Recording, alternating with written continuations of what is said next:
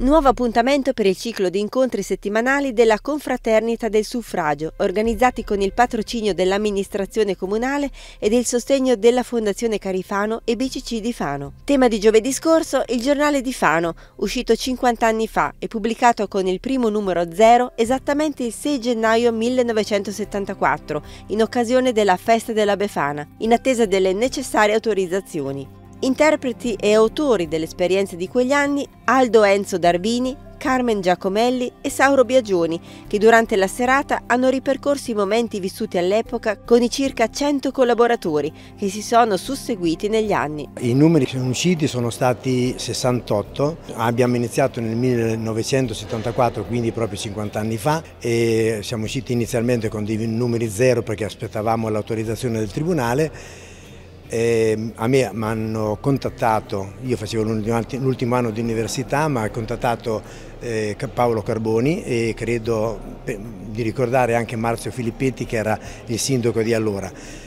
e mi proposero di fare il direttore del giornale. Poi ci siamo accorti che non ero iscritto all'albo dei giornalisti, quindi ancora poi dovevo laurearmi, quindi mi sarei laureato eh, quell'anno lì. E abbiamo scelto, abbiamo interpellato Giampaolo Sodano, che era un giornalista di Roma, eh, ha accettato di avere l'incarico diciamo, a distanza, adesso diremo un incarico eh, da remoto eh, e io fui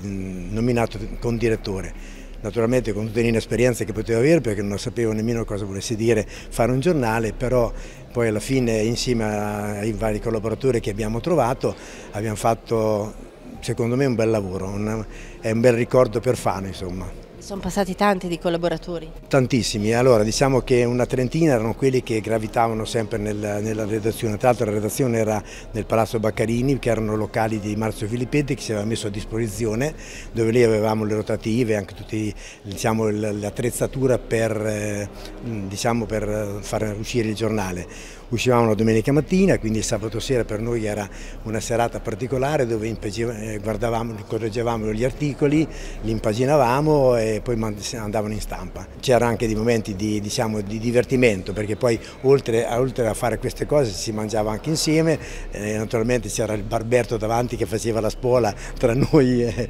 per vedere qualche, no, qualche, bottiglia di vino, ecco, eravamo molto giovani quindi ci stava anche la, la parte diciamo, goliardica del, del giornale. Insomma. Che ricordo ha di quei tempi? È una grande emozione nel rileggere quegli articoli perché eh, vivevamo insieme in amicizia, avevamo diverse professioni, diversi mestieri, c'erano molti studenti, molte persone che scrivevano per la prima volta. Infatti io per esempio